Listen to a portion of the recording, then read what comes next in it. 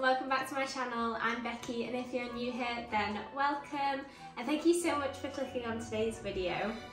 We are going to be doing three different craft ideas that will be great for Halloween and they are going to be super easy and cheap to make but look lovely in your house to really add that spooky season spirit.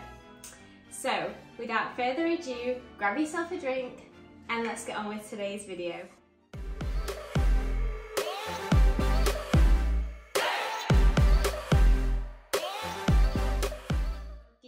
We're going to do three different crafts. So the first one is going to be a Halloween themed gonk. So you know like the little gnomes that you get at Christmas? I've got a really easy way to make them for yourself at home for more than like half the price of what you'd be able to get them in the shops. Um, then we're going to be doing like a Halloween themed garland and then finally we're going to be doing some spooky little ghosts. I'll list everything that you need and it was all in my previous video. Um, it was like my Hobbycraft and Amazon haul.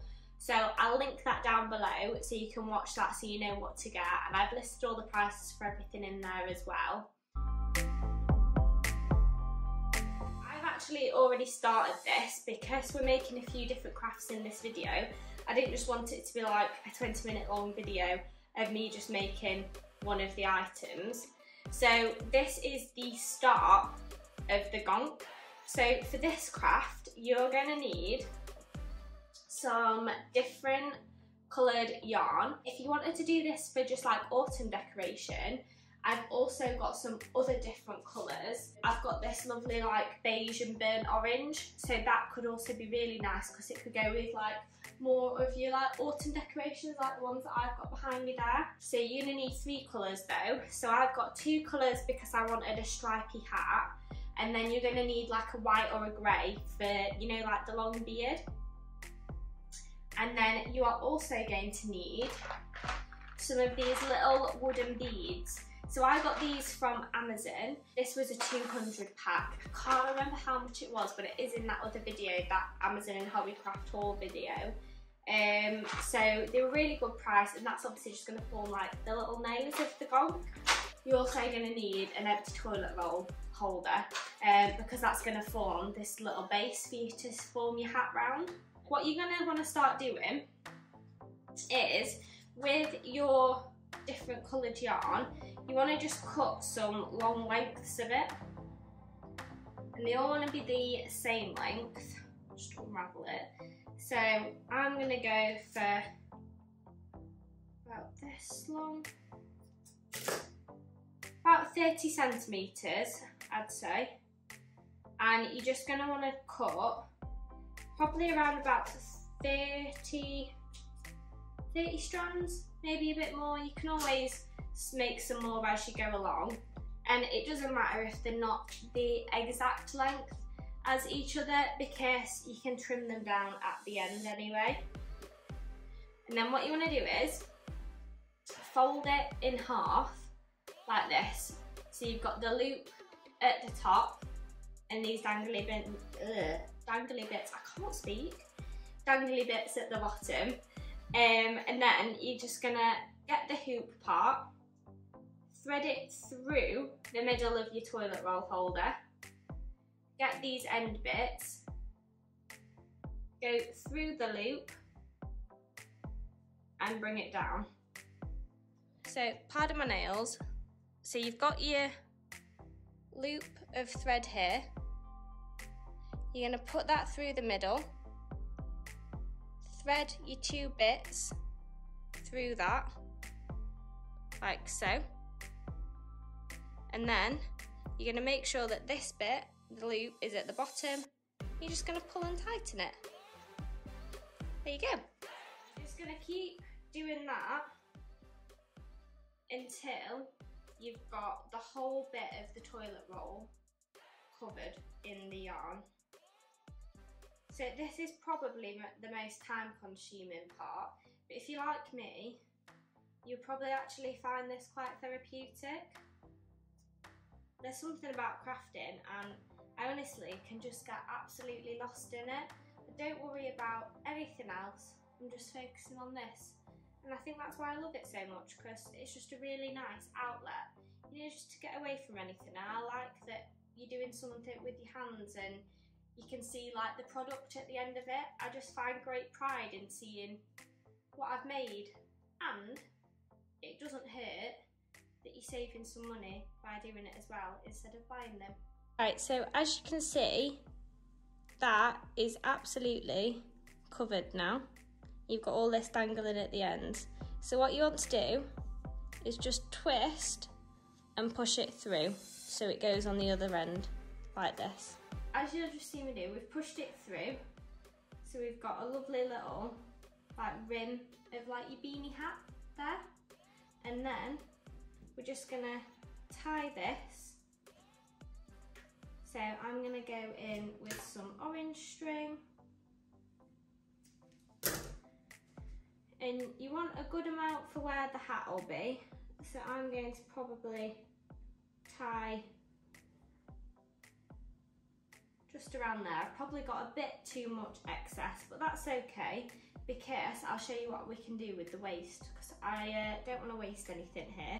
Gonna go round myself again just to make sure that it's really tight because I don't want it coming loose. Right, so now we've got that, I'm just going to stuff it. So I have some bits from earlier that I was trimming off of a different decoration. See, when we trim these bits off, I'm just gonna push it all in there because then you're not having any white colour popping through it's all going to match your hat colour. Because if we stuffed it with some like white cotton buds or tissue roll, you'd be able to tell. And then we're just going to trim off the ends of this because then that's going to make your pom-pom on top, like so. And then we're just going to push all that into the hat. So we've got a nice big hat. Right, so I've got my hat there. And then,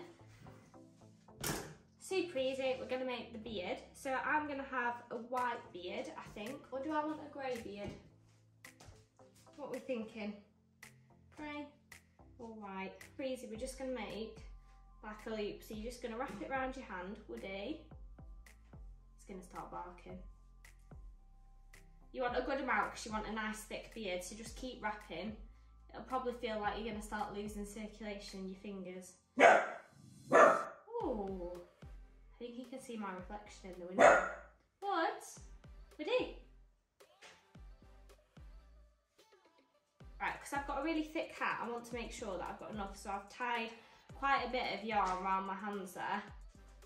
And then all I'm going to do is just cut that end Slide it off your hand so you've got your hole in the middle. Don't lose that. And then with a piece of the white yarn, we're just going to wrap it around the middle. So I like to go through and then I'll go round like this. Now, if you want a longer beard, wrap it round a bigger piece. So the wider your pieces that you wrap it around, the bigger your piece will end up being. Then, just going to tie this off. I am rushing this um, because I am trying to keep this video as short as possible because we are going to be doing multiple crafts. But obviously you can make it look a lot nicer than this. And then with your sharp scissors, you're just going to cut through all those loops there and hopefully we should have a nice thick bushy beard. So I might have needed a bit of a longer beard because my hat's quite big. Note to self, make your hat a bit smaller. So that's what I'm going to do actually. I'm going to undo, so now that I can tell how big my beard is, and this is what I mean, you can see I've never done this before, but I'm also, it's quite good because I'm also showing you that it doesn't matter if you've not crafted before or you've not made this craft before because it's really easy to amend. I'm gonna cut that off that I tied the hat with. I'm just going to redo it, but a bit lower down. I get that orange string back, I mean, I don't think I'd make it on like professional TV crafting like this, but you know, it's all just for a bit of fun. And we're just trying to see how things are going to turn out, aren't we? She says unconvincingly. Pull through all your little bits. There we go. Lovely. I'm just going to trim that down a little bit again because I want it to be a bit of a tighter pom-pom on top. Now I'm going to take some of this stuffing out that I did put in earlier because we want the top bit of our beard to sit in there. Right, so you can start seeing it's taking shape there. Got his beard. So you can either glue gun it to make sure it's secure, but my glue gun isn't working at the moment. And if you don't have one, then I want to make this accessible for you guys to do as well. So it can just sit in there and then what you want to do is stick your little nose on.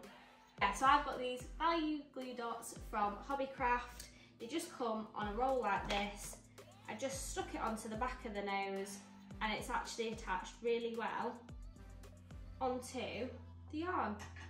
And then if you just want to make him look a bit more put together, you can just trim his beard. I don't think I'd make it as a barber.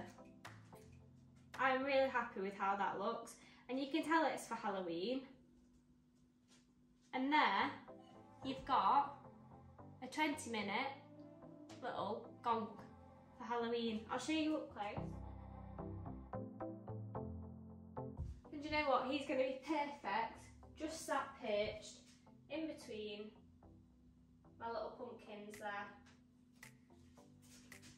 Love him. Can you say hi? But yeah, so we had a few ups and downs to say the least um, as we were making it. But that's what happens when you're crafting, and a lot of the time you just got to adapt it because everyone knows Pinterest versus reality. Um, but that, by the end of it, was really easy to make, really effective, and like I said, so much cheaper than when you're buying it in the shop. So I'm just going to give Woody a little snack, and then we'll move on to our second yarn craft.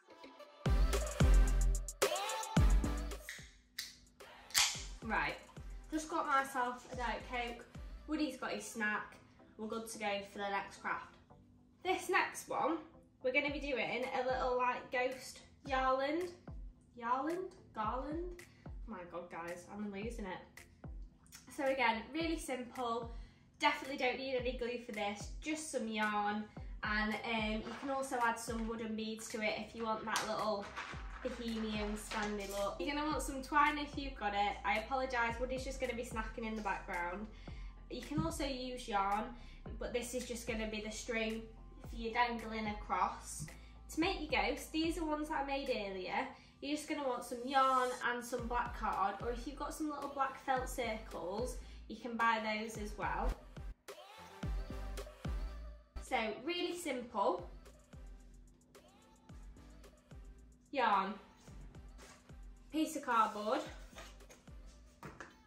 because it's a bit bigger than my hand, and you literally just go in to wrap it round. You want quite a strong piece, this one bends in the middle, but it's fine because I can hold it.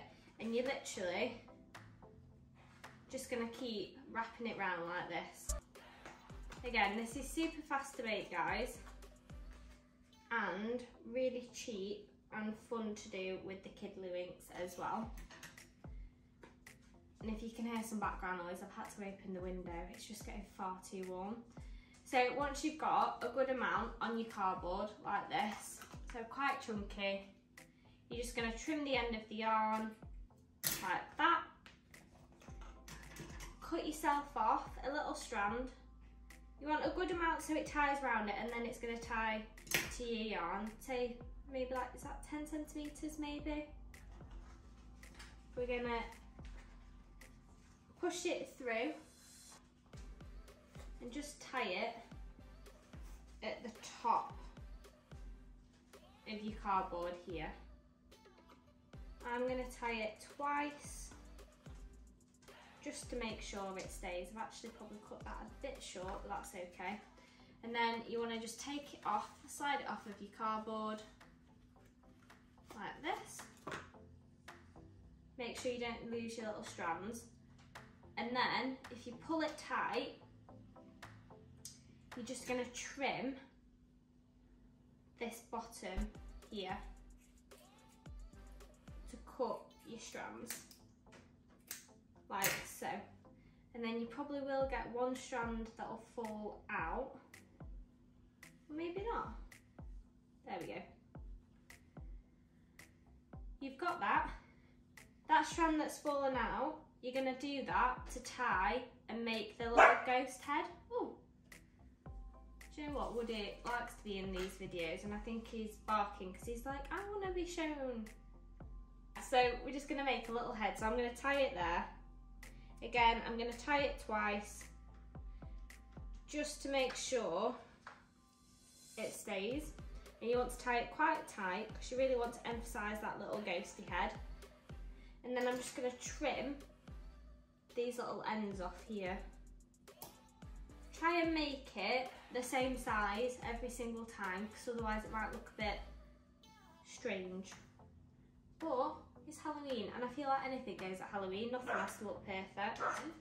You want your black card and I'm just going to get a bit of decoupage glue. You can use uh, normal PVA glue but I'm just going to use this. Peel that lid back.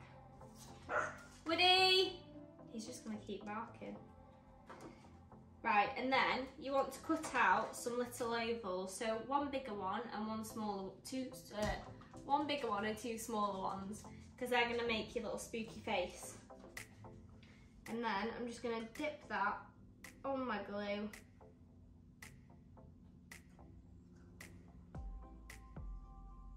And pop it onto my ghost. So it's got its little mouth on it now.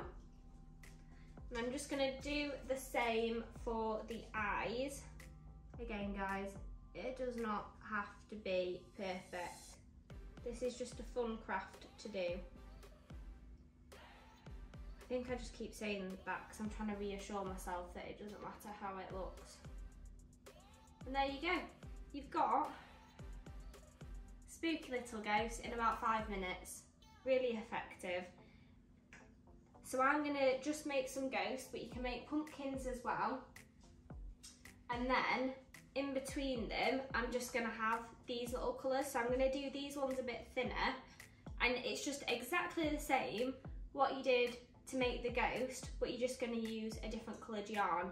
So I'm gonna make up a few of those and then I'll come back to show you how I thread it all together. So I have made a few more. I decided to scrap the purple because I did want to be able to use this in autumn as well, not just for Halloween. So I've used this lovely rustic colour and I've made way more little bodies and then what I've done is I've got my twine here and I'm just measuring out how I want them to look. So you can make this as long as you want. I think I'm just gonna have a little one over the middle there. So I'm just gonna space these out like so. And I've just tied a little loop on the end so I can hook it over like a little command strip hook, uh, strip, strip hook. So I've got that, and then what I'm gonna do, I've got little bits of yarn everywhere from where I've been trimming it. Um, I'm gonna use these little wooden balls, and I'm gonna thread them along to go in between, because I think that'll give it a really nice little expensive wooden macrame type effect. And then I'm just gonna start by threading probably two of these to begin with. Now you don't have to have these. Um, I just personally quite like the look of it. Might do three. So I've got my three little beads on there. And then I'm gonna go in with my first little like rusty orange decoration. And these little bits that you added on here, we can just tie around this. So what I'm going to do is I'm going to tie them all on place first and then afterwards, once I'm happy with the placement, then I'll go back and chop all these bits off. Because if I'm not happy with the placement, I'm just going to end up using more string, whereas there, I can untie it and redo it. Make sure you obviously tie the ghost face at the front. So you can see it and see what it looks like. I've got that forming along there now. So I'll add the rest of the beads and I'll show you what it looks like when I'm done because you don't just want to watch me threading and we've got one more craft after this one um, so I'm going to try and do this as fast as possible for you so I'll be back once it's done. So I realised I had my sunglasses on my head for the last time because I it's really sunny outside so I decided to make some of these outside. So that's that one done really easy to do and again I think it looks lovely and you can make this as long or as short as you want depending on where you're going to hang it. Um, I think that's really effective and I really like it quite like a Scandi theme. Okay guys so we're going to move on with the next craft which is our ghost. Um, so for this you are going to want an empty plastic bottle and like a little ping pong ball or something that's like round that can sit on the bottle. Uh, you're just going to want some little wooden skewers because we're just going to stick those into the bottle to make the arms. You're going to want some scissors, some cheesecloth. Now, if you don't know what this is, um, it's basically just like a muslin, quite thin material. I picked this up from Amazon um, along with some fabric stiffener. These were both in my Amazon Hobbycraft haul. Um, and then you're also just going to want like black Sharpie or black cardigan to put on the features once we're done. Yeah, and then you're also going to want a bowl um, so you can put your fabric stiffener in. So I just get, I'm just going to get quite a shallow one so I can soak it in. Shut that drawer. Okay, so you're going to want to make sure that first you're going to position these into your bottles. These are going to make like your little ghost arms. Right, so I've got this little metal skewer and hopefully that's going to pierce through my bottle. There we go. Right, so now that that's through, I can feed through this little stick. Go for that one, there we go just so I've got like a nice arm shape where I can drape the material in and I'm just going to add another one onto the other side. So I'm going to make sure it's even. So I've got my little ghosty arms in my bottle there. Know what guys? I am all over the place. I have been crafting for hours this morning to get some content together and although I find it very relaxing when you're doing bits after bits and you're trying to record you just end up with stuff everywhere. Honestly, if you could see the kitchen island right now, it is, there's like boxes of yarn, crafting, glue guns that side, I've got Hessian that side, I've got my washing up there. It's just everywhere. Um, but it's all just fun and like I say, it's really nice to see everything afterwards. So, I'm gonna just shake up our fabric stiffener. And what you want to do as well is measure your cheesecloth. You want enough so it's gonna stand by itself. I'm gonna just cut that in half.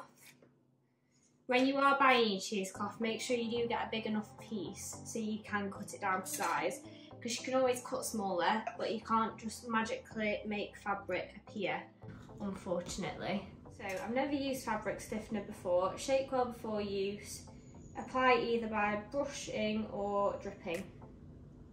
Remove excess by pressing fabric by hand. Right, so I'm going to take my rings off for this because I don't necessarily want fabric stiffener to go in them. I don't think that'll be quite good. And then I'm not sure how much I'm going to need, but I think we need to soak the fabric. So I'm just going to pour a good amount in there. I can always add a bit more. And then what I will do is actually just lay down some greaseproof paper because when this stands up, I don't want it to stick to the island. I always have to do these crafts as well when my boyfriend's not home because I think all the mess, I'd give him like an aneurysm. but Anyway, so we're gonna soak this fabric. I'm just gonna literally, oh my god, oh my god. That feels, that feels a bit weird, does that? It's quite, um, like stodgy.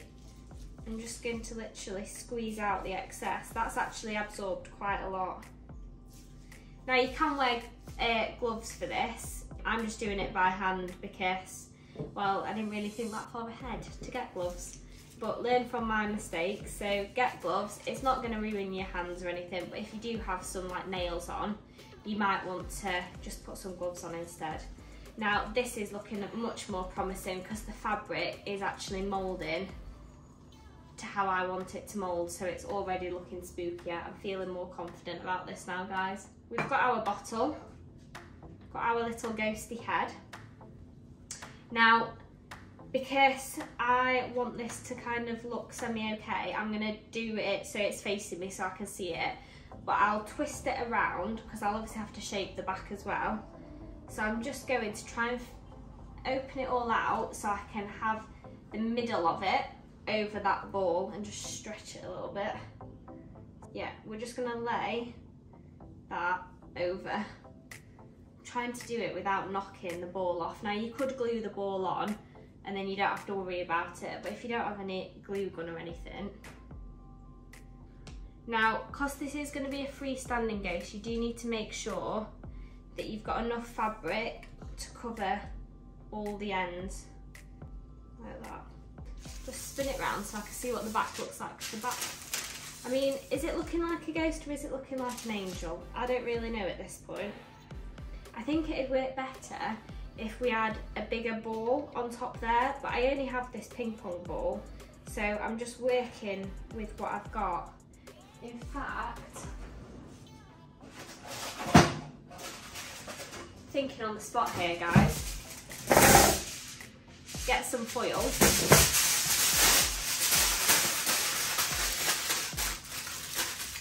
And then I can make a much bigger ball, can't I?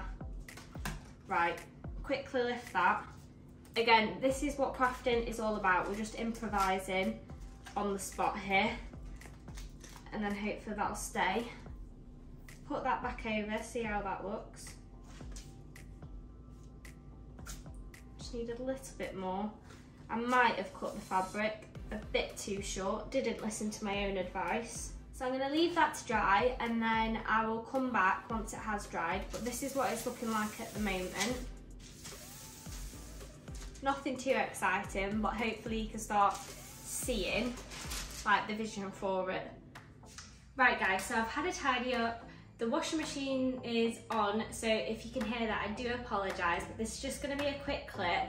What I've done is I've just cut out some little black ovals from some black card, and you only need them for the eyes. You can put a mouth on if you want, but I think it looks really effective just as the eyes. So I'm gonna just glue those on. I've got my, perfect. So there we've got our little standalone Halloween ghost. So I'll just quickly do the eyes on this one as well. And there you have it. Beautiful little Halloween ghost made from a bit of cheesecloth, fabric stiffener and card. Well, I hope you've enjoyed today's video guys. Thank you so much for coming along and making these crafts with me. I hope that you're going to enjoy making them as well and comment down below if you've made it this far in the video, the little ghost emoji um, and I'll see you at my next one. Bye!